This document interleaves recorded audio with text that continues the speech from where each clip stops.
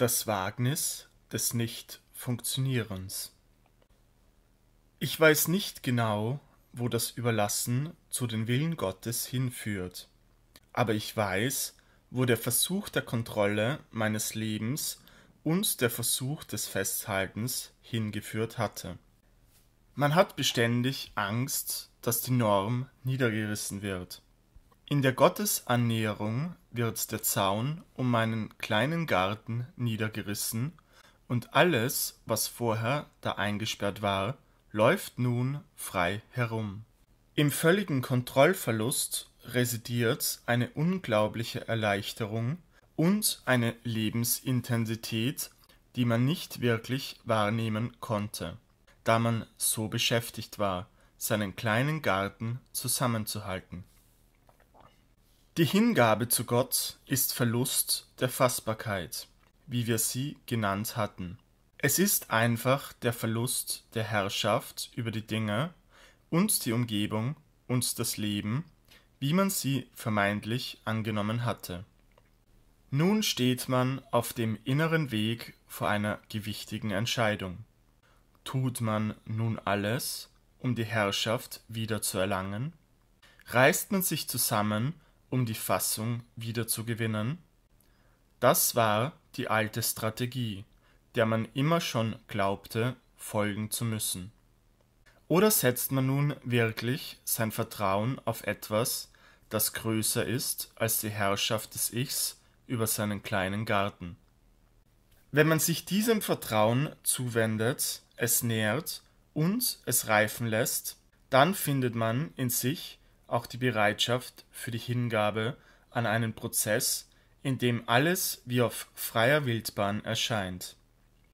Es ist ein nicht beherrschbares, unvorhersehbares Eintauchen in den süßen Willen Sri Krishnas. Das ist, was Meister Eckhart in der Verrücktheit des Herzens beschrieben hatte.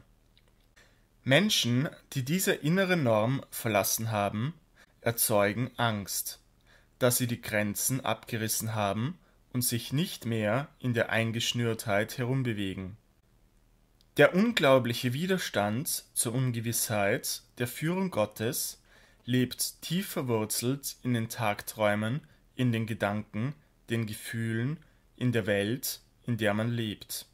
Die Hingabe aber erfordert das Verlassen der Norm, das Risiko, nicht mehr wie bisher funktionieren zu können, wie man es eben gelernt hatte.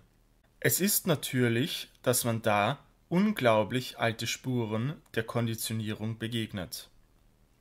Menschen denken manchmal, wenn sie den Aggressionen, die in ihnen brodeln, freien Lauf lassen würden, dann würden sie alle umbringen.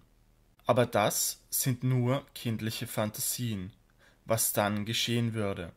Wenn man effektiv diesen Weg der Freilegung begeht, erkennt man die perfekte Selbstregulation der Dinge, die man bisher glaubte, selber in die Hand zu nehmen.